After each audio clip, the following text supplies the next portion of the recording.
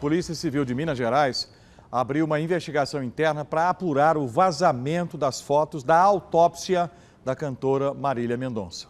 Uma equipe já está ouvindo todos que tiveram acesso ao laudo. Quem fez isso deve ser responsabilizado.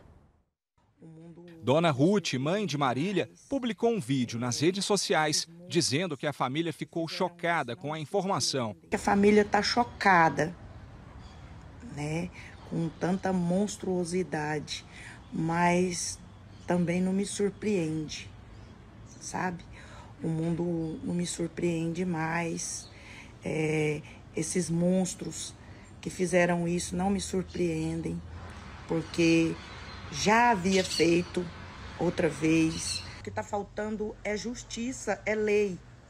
Né? Porque aqui não pode ser terra sem lei. As redes sociais não pode ser terra sem lei.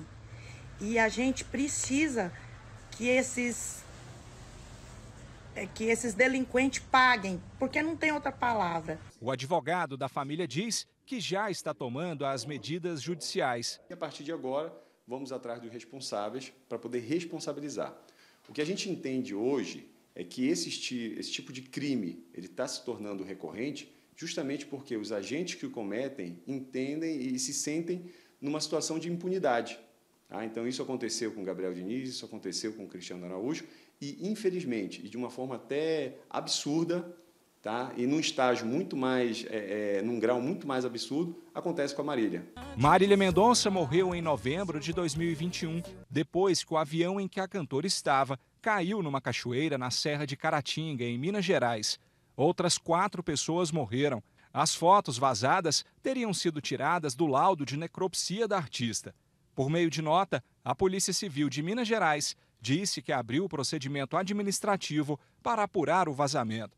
Disse ainda que o sistema onde os dados ficam armazenados são auditáveis e que uma equipe já está investigando todos que tiveram acesso ao laudo. Os responsáveis vão ser responsabilizados. O advogado conta que, na época da tragédia, a família tomou todos os cuidados para que não fossem feitos registros do corpo da cantora. A gente faz um trabalho de acompanhamento. Então, a gente acompanha os corpos até a funerária. Na funerária, a gente restringe a entrada de pessoas nela, no local também que estavam sendo feitos os preparos dos corpos. É, a gente recolhe o celular de todo mundo, Inclusive, eu recordo que até do próprio proprietário da, da funerária a gente recolheu os celulares. Então, naquele ambiente ali, até a, a, a preparação dos corpos, até a saída de, da cidade para Goiânia, não houve nenhum registro. Nenhum registro. Os únicos registros que existiram é, dos acidentados foram da Polícia Civil. Não é a primeira vez que algo do tipo acontece no Brasil. Em 2015, fotos e vídeos da autópsia do cantor Cristiano Araújo vazaram na internet. Em 2019, fotos do corpo do cantor Gabriel Diniz viralizaram na internet. Divulgar fotos de pessoas mortas sem autorização é crime previsto no Código Penal brasileiro.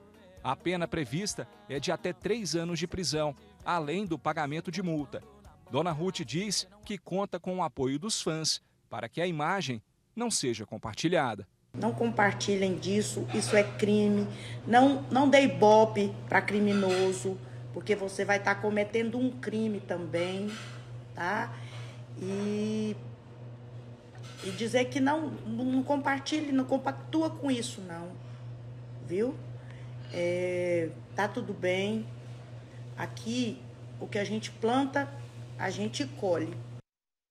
E a polícia vai chegar nas pessoas que fizeram isso. Ah, e, e tem que chegar, né? É admirável também a, a, força e a serenidade que a mãe dela está encarando esse problema, porque é um horror. Né? Era uma fortaleza. É.